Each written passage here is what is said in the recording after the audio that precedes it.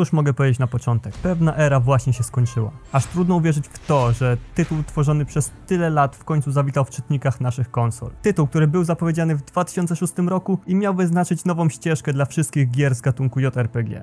Tytuł, który zmienił swoją koncepcję tyle razy, że już nikt nie wierzył w jego sukces. Hej ho, tutaj Jacek z kanału Jabspam, a to będzie moja recenzja gry, na którą czekaliśmy zdecydowanie za długo, czyli Final Fantasy XV, prawdziwej fantazji, opartej na rzeczywistości.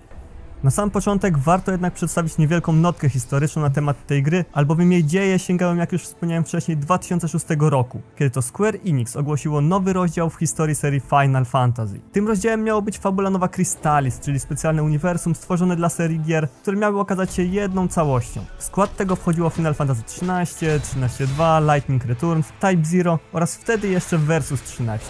Niestety nie wszystko poszło tak jak planowali to twórcy i ostatecznie jako spójną całość można było potraktować tylko trylogię Lightning, rozciągającą się na trzy części gry. Type Zero, pomimo posiadania tego samego uniwersum, skończyło zupełnie inaczej, a Final Fantasy Versus 13 nie ujrzało światła dziennego przez 10 lat. Zgadza się. Versus 13 to obecnie Final Fantasy 15, które bazuje na fabula Nowa Crystallis, ale nie jest jej częścią w pełnym tego słowa znaczeniu. Ostatecznie twórcy postanowili zabrać fundamenty nowego uniwersum i na ich podstawie stworzyć coś, co miało zdefiniować gatunek JRPG od nowa. Cała historia zawarta w grze odbywa się w okresie kilku tygodni, w których to śledzimy historię Noctisa Lucius Kaleuma podczas jego podróży przez świat, nazywany w tym tytule Eos. Jest to ogromny i różnorodny świat, którego historia przypomina do złudzenia to, co działo się w Ivalice. Mowa tutaj o dwóch wielkich nacjach i toczonych między nimi walkami o przejęcie władzy. Gra sama w sobie zaczyna się niewinnie, oto jesteśmy wysłani przez naszego ojca, króla Regisa, w spokojną podróż. Razem z nami będą podróżowali nasi przyjaciele, a zarazem straż przyboczna, w postaci wielkiego osiłka Gladiolusa, cichego mentora Ignisa i zwykłego śmieszka Prompto. Jak to jednak w grach bywa, sielanka naszych bohaterów szybko się kończy, albowiem podczas pokojowego spotkania, które miało zażegnać wielki konflikt, wielkie i złe imperium Nilfheim dokonuje aktu zdrady, czego skutkiem jest całkowita anihilacja stolicy Lucis razem z panującym tam władcą. Od tego momentu Noctis obrał sobie za cel pomszczenie ojca, odzyskanie wielkiej miłości i skopiowania paru innych wątków z poprzednich części Final Fantasy. Największą zmianą w stosunku do poprzednich części jest zmiana struktury świata, w jakim odbywać się będzie cała przygoda. Twórcy postanowili porzucić korytarzowy albo jak to woli quasi otwarty styl świata na rzecz pełnokrwistego open worlda. Przez co otrzymujemy, jak już wcześniej mówiłem, ogromne połacie terenu, które na początku wydają się puste jak pierwsze otwarte lokacje oczywiście z Metal Gear Solid 5. Jednak z każdą kolejną godziną gry otrzymujemy zupełnie nowe miejscówki, które po prostu zachwycają nas wspaniałymi widokami, dla których po prostu musimy stanąć na chwilę. Pustynne rejony przypominające Kazachstan zmieniają się powoli w tereny wiejskie, żeby później przejść w metropolię, albo jeżeli stwierdzimy, że chcemy skręcić w inną stronę, to możemy trafić do pięknego lasu z czokobosami, majestatycznego wulkanu, zimowej krainy, kanionu zapierającego dech w piersi, albo po prostu nad ogromne i piękne morze. A to i tak nie wszystko, albowiem ten świat skrywa w sobie wiele sekretów, które po prostu musicie odkryć sami. Warto też zwrócić uwagę na fakt, że tutaj wszystko wydaje się naturalne i żyje własnym życiem. Nieważne, czy wejdziemy w interakcję z otoczeniem, czy nie. Pomimo, że przemierzanie tego pięknego świata pieszo kusi, to twórcy postanowili dać nam kilka opcji, które przyspieszą podróż. Możemy dowolnie korzystać z takich dobroci jak regalia, czyli nasz wspaniały, luksusowy samochód, Chocobo, które są maskotką serii już od dawna, albo Airshipa, który zabierze nas w miejsca, w które wcześniej nie mogliśmy się dostać.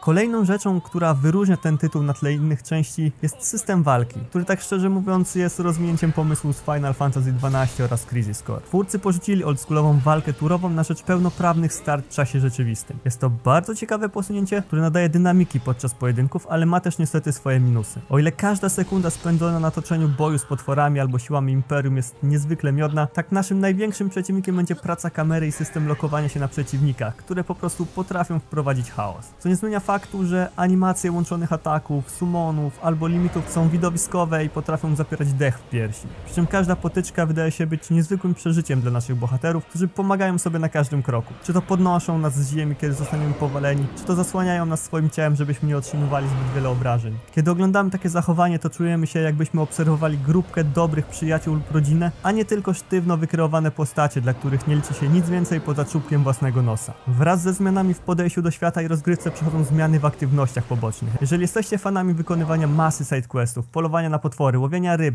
gotowania, grania na automatach, robienia sobie selfików w różnych miejscach i tym podobnych, to poczujecie się tutaj jak w domu. Gra oferuje nam dosłownie setki aktywności aktywności, zaczynając od najprostszych, jak zbieranie rzeczy dla kogoś, poprzez te bardziej skomplikowane i rozbudowane fabularnie, które umacniają nas w przekonaniu, że ten świat żyje własnym życiem. Widać, że twórcy starali się czerpać garściami z serii Yakuza, która wyznacza standardy w tym segmencie już od bardzo dawna. Niestety, jak to w życiu bywa, ewolucja niesie za sobą również niechciane zmiany i tutaj jest dokładnie tak samo. Final Fantasy XV podzieliło los Metal Gear Solid 5, które po wielu latach trzymania się utartej ścieżki postanowiło przejść w tryb open world. Tak oto obie gry popełniły ten sam błąd. Z powodu zaoferowania nam wolności wyboru w tym, co będziemy chcieli robić, warstwa fabularna została bardzo mocno rozcieńczona. A poprzez bardzo mocno mam na myśli, że tylko końcowe etapy gry, które zabierają nam możliwość swobodnego zwiedzania, są bardziej spójne i oferują pewną historię. Niestety wtedy już jest za późno, żeby uratować opowieść w oczach zatwardziałych fanów. Wiele postaci po prostu znika bez jakiejkolwiek wzmianki, niektóre wątki są po prostu urwane chyba tylko dla zasady, że na koniec musi być wszystko dopięte i niestety od samego początku widać, że Square Enix chciało zrobić masywną grę, ale niestety nie wiedzieli jak się za to zabrać. Stworzyli coś, co wydawało im się bardzo dobrym połączeniem open worlda z Final Fantasy i niestety zawiedli. Nawet możliwość przechodzenia tylko misji fabularnych bez dotykania aktywności pobocznych nie ratuje tego aspektu. Dalej czułem jakby twórcy wycięli ogromne kawałki gry, żeby zdążyć na premierę, którą i tak już przekładali latami.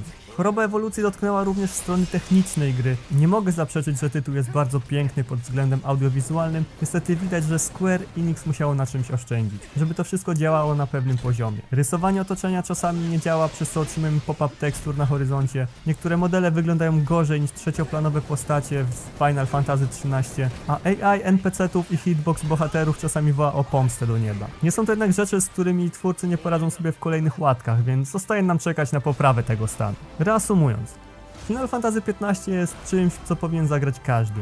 Jest to idealna kopia tego wszystkiego, co lubiliśmy w poprzednich częściach, która stara się zrewolucjonizować gatunek. Rozwodniona do granic możliwości fabuła pod sam koniec nabiera nowego pędu, a system walki jest miodny i nie nuży nawet na chwilę. Świat, jaki nam przyjdzie zwiedzać, jest różnorodny, a zarazem naturalny, a sami bohaterowie zdają się bardziej rodziną niż grupką przypadkowych ludzi. Jeżeli podejdziecie do tego tytułu jako czegoś zupełnie nowego, a nie przez pryzmat poprzednich części, to spędzicie przy nim bardzo miłe godziny.